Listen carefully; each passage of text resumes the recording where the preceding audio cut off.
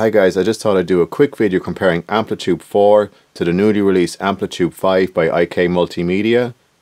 I used Amplitube 4 recently a lot there on a project I just finished. I wrote a book for beginner to intermediate guitarists, so if you're interested in that you can click on the links below. If not, we'll just go through this and compare the two versions. I'll be using my Strat and I'll also use my Gibson Les Paul.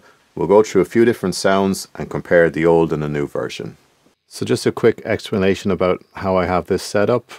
I have my guitar coming in here on this track and then I have two buses.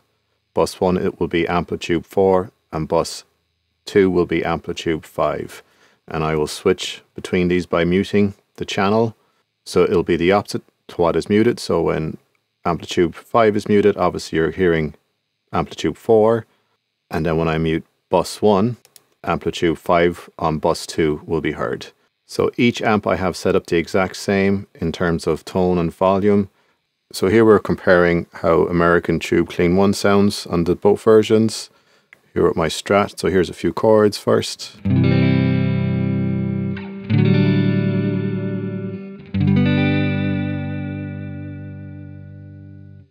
Tube 5.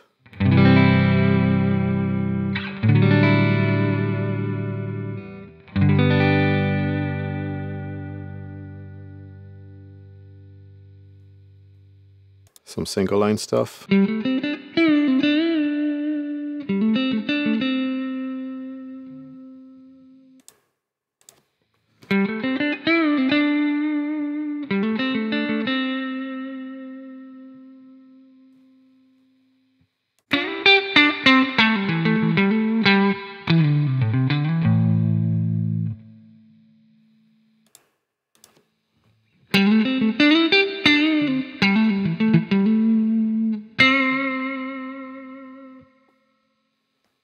So here we're looking at a Fender Super Reverb.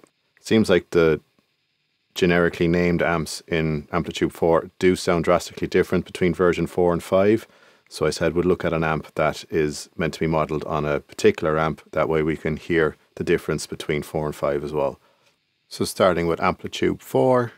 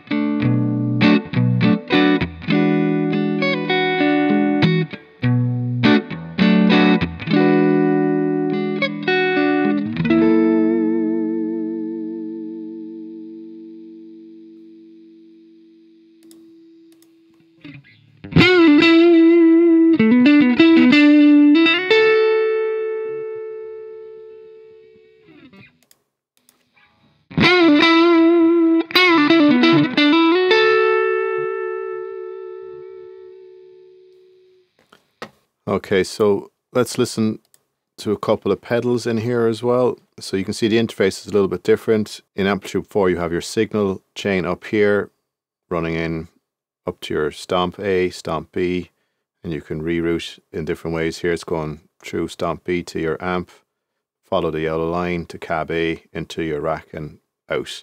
In Amplitube 5 you can see your signal chain down here much clearer and you can click on things as you need them. So it's actually a little bit easier to get through your signal chain and change things. So let's turn on the OCD here. So starting with Amplitube 4.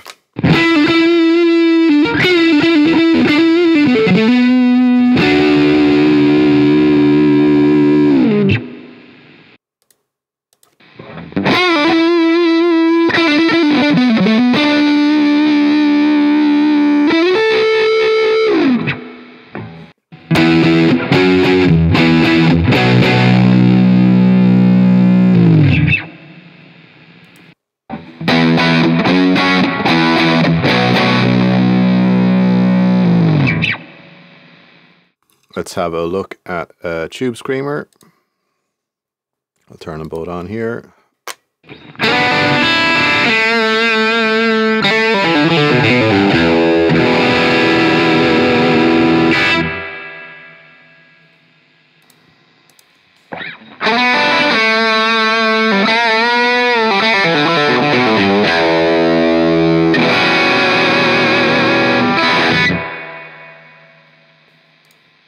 Jumping back to the amp, so in Amplitube 4 you see I need to click up here to get back to my amp, whereas down here you can actually see where you are, much easier.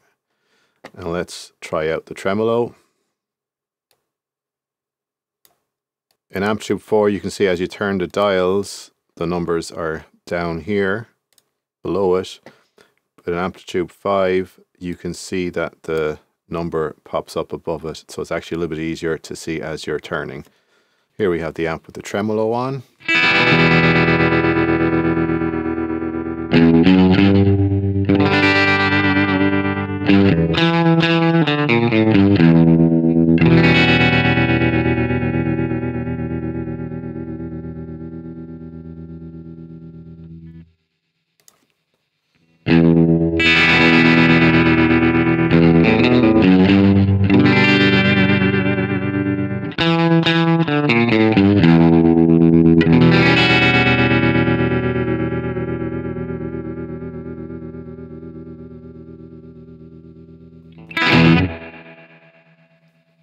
Let's have a look at British Tube Lead 1. This is obviously based on a Marshall amp. So the generically named amps, you'll notice the biggest difference between. So let's just have a listen to this.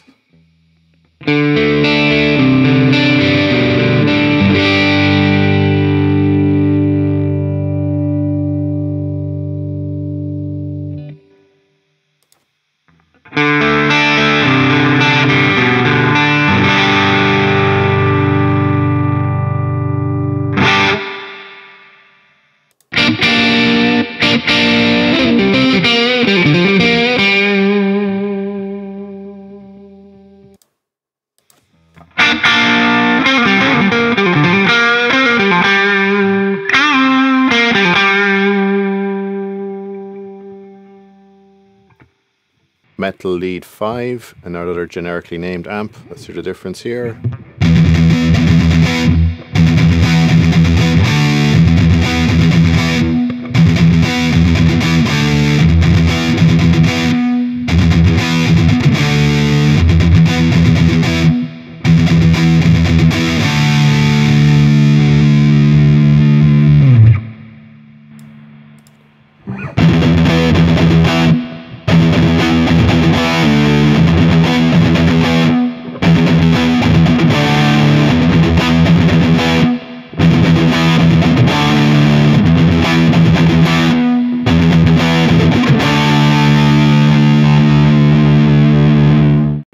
Put a bit of bass into that compared to the other one.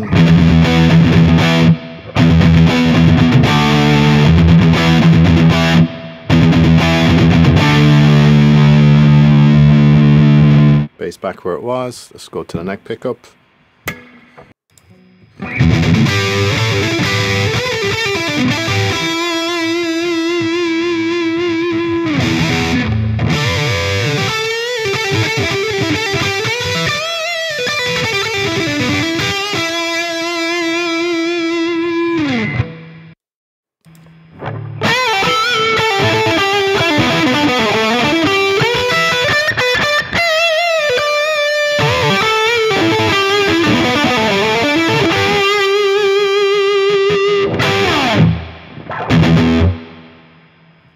Lastly, let's look at the Soldano 100 watt amp. Just showing you this one because obviously this is based on a real amp out there in the world. So we'll hear the differences are probably a little less.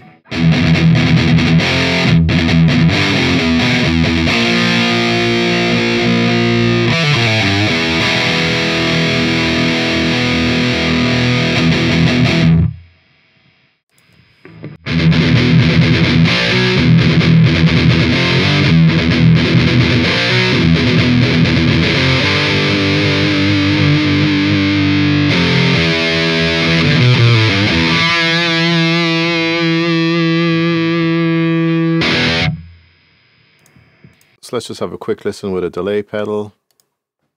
So turning on this delay pedal on both amps.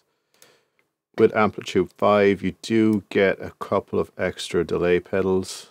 It looks like there is a DD3 or DD2 style delay in here as well, but let's just use the same delays that came with Amplitube 4 as well.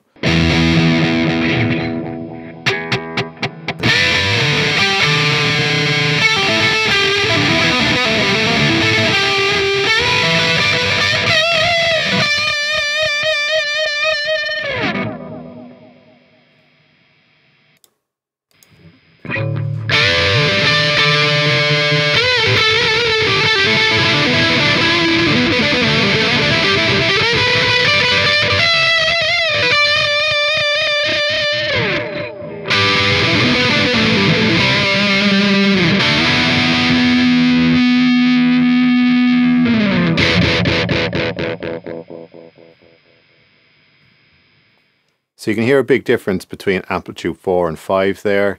For me, Amplitube 5 just sounds a little bit clearer and more hi-fi. You might think there was less bass in the Amplitube 5. I think it's just clearer. And I think if you want that bottom end back, it's very easy to dial it back. I had everything pretty much set at 5 on all the amps there. Big thing is when you're playing it, if you have your headphones on, I feel that Amplitube 5 sounds more realistic amp like. It sounds like you're in the room with a with an amplifier, whereas Amplitube 4 sounds a little less. It just sounds a bit more kind of two dimensional, if that makes any sense. And, and under your fingers, when you're playing, just feels a bit more amp like. So when you pick lighter and pick harder, it just seems to react more like an amp would. So do I think it's worth the upgrade? Yes. There is a free version, so it's very easy to try out. I think you get a couple of amps. Uh, I've been using it for a couple of years now, so I'm very happy with the upgrade. One little note, if you have projects in Amplitube 4 and then you start uh, moving your projects across Amplitube 5, you'll find that you may, may need to adjust the levels. The microphone levels and microphone placements by default are different in Amplitube 5. And like I was saying earlier, the overall level, dynamic level is seems to be larger. So sometimes that can come off as quieter. So you may just need to adjust your levels a little bit if you're transferring projects over. All right, guys, I hope you enjoy that. Please like and subscribe and click below on the links below if you want to find out about my book for beginner to intermediate guitar lessons. And please uh, leave any comments about any more videos you'd like to see below. Thank you.